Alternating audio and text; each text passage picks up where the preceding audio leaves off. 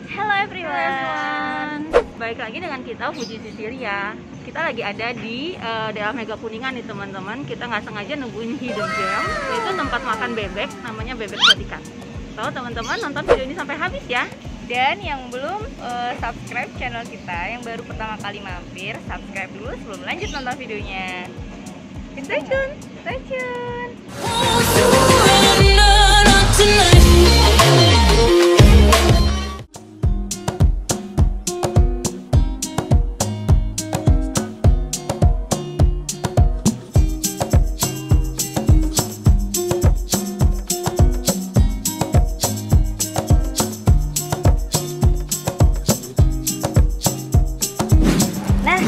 Nggak perlu lama-lama lagi, kita makan. Itadakimasu. Nah, teman-teman di sini tuh suasananya enak banget. Kayak Jogja katanya. Ya, Cuman gimana kata orang Jogjanya? Iya iya sih.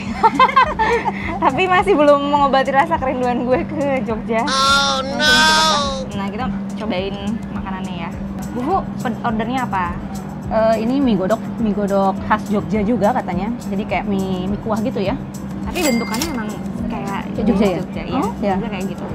Berarti oh mie mie pipi. Mie tipis ah. Eh, apa mie apa sih? Hah.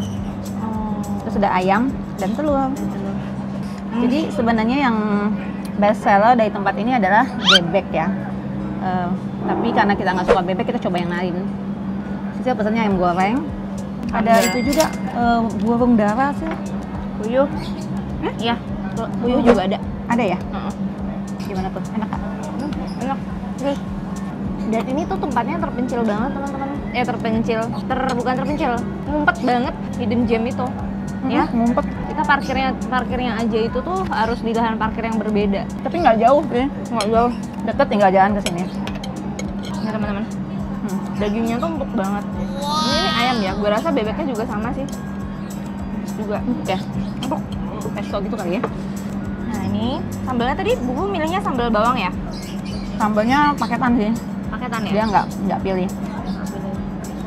Kan ada tuh tadi gue liatnya di menunya tuh ada yang sambal hijau atau sambal gitu? apa? Hmm. Tadi sih nggak dikasih pilihan ya. Ayam goreng itu sambalnya itu. Hmm. Kalau mie-nya ini teman-teman eh, ayamnya banyak ya. Dia kasih ayam suwirnya gitu cukup banyak lumayan. Terus rasanya juga lumayan Eh, cocok dah kalau buat putu yang hangat-hangat.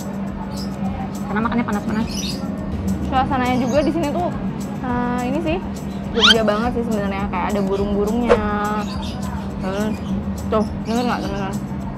Terus ada Pendopo. lagunya tuh Oh iya iya. lagu Jawa Mm. gitu ada pendoponya juga terus eh, staff-staffnya di sini ramah-ramah teman-teman dan pakai baju batik wah ini bawaannya gede banget sih teman-teman kita potek kita mau cobain Gede banget ya. uh dan masih hangat Hmm. Gede banget ya sih. ya Ini kenapa Satu porsi sih berapa sih? Empat ya. empat tapi beneran asli ayamnya tuh enak Potongannya juga gede loh. iya gede hmm. Enak banget sumpah.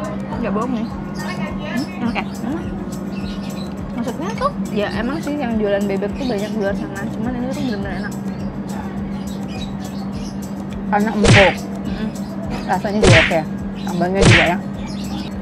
Jadi teman-teman untuk harganya ini sih hmm, masih standar lah terjangkau gua agak lupa. Nanti kita tulis di description ya atau enggak kita tulis di bawah sini kalau yang bebeknya itu harganya sekitar 40 ribuan something. Macam-macam ada bebek goreng bebek panggang dan lain-lain deh banyak. Terus ayam kemudian snack-snack kayak gorengan gini. Terus eh, bakmi godok ini sekitar 35 35 ribuan gitu teman-teman.